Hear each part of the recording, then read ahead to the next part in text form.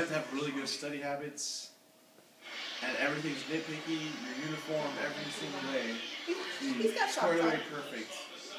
And your bed, doesn't your bed have to be square away perfect too? In too? boot camp, I don't, get, I don't care now. I have, Oh, Star, now I have, I have Star Wars seats on my rack right now. So only in boot camp is where that yeah, happens. Boot, camp, new, boot camp, new school, and Naval Academy is where they're like really nitpicky and just like little stuff. Ugh, Yeah. your thing's off a little bit. Oh, you're covered. Ugh, you know. Yeah, yeah, yeah.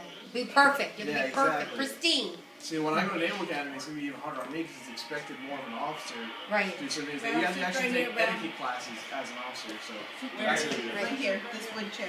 Etiquette classes. Yeah. The wood Sit right chair. here, Mom. Put this what she fork. said. I'm doing this.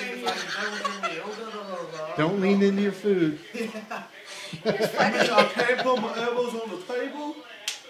I, I used to get yelled at all the time for that when I was a kid. Oh, dude. For what? Well, Putting your elbows on. Elbows on the Take table. Um, Flipped out.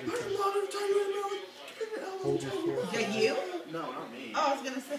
Hold your fork. Oh, you were like, wait a minute, I taught you that. Taught you better than that. He knew how Don't be getting yelled at for that. now, they don't hold forks properly. No, they don't. No, they go like this. Yeah, They do. yeah. They like. or scoop it. And, and they're like, And I told him, and you're like, no, what the I raised my kids better than that. How do you you- don't shove That feels uncomfortable to hold the fork. Can you imagine? You're like this. What? Nobody taught them Are you a monkey? Crazy. Well, you also That- look that- at that's like kids now, holding too, they wear chopsticks like Velcro one. shoes. No, no kidding. It's just. Remember kids don't know how to tie shoes?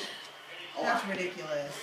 Don't know how I to used to what? uh, Tie threaten shoes Val. 'cause they have Velcro If he didn't tie his shoes. shoes, I'd give him Velcro Yeah, he threatened Nobody me. He wanted- threatened me with yes. Velcro shoes. You know, now yeah, it's like, Because we all said the all the kids on the short bus did you wore Velcro shoes. Do you want to be a kid on the short bus? So you can walk with your Tie a legs. What's a short bus?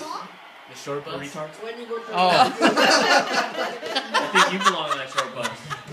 You, you guys remember the You roots? can't remember being on it. Kangaroos? Yes. We had a little Velcro Yes. pocket where we could keep our change.